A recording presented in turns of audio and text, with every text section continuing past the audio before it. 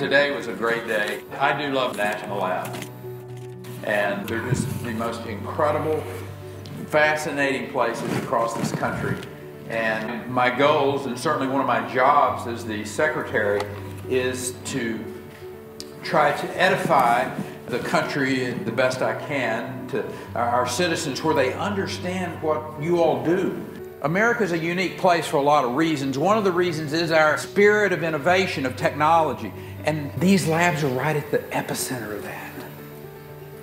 You change the world in the medical isotopes that are being developed right here at this lab. Every one of you whose family has been affected by cancer, the potential to heal those loved ones may be developed right here at Brookhaven National Lab. That's my passion, is to go share this story about what's going on at National Lab, these 17 literal jewels that we have in this country.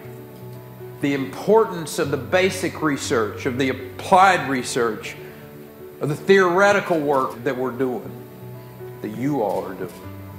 I share with members of Congress and on a regular basis why what you do is so important and why the funding of these programs and the ability to have a long-term strategy in place is so important to this country and all the, the areas that, that our national labs in particular are involved with. And I feel very confident that the leadership of the labs the partnerships of the private sector, the men and women who are in leadership roles there at the Forrestal building now all share that same not only excitement about what you do, but commitment.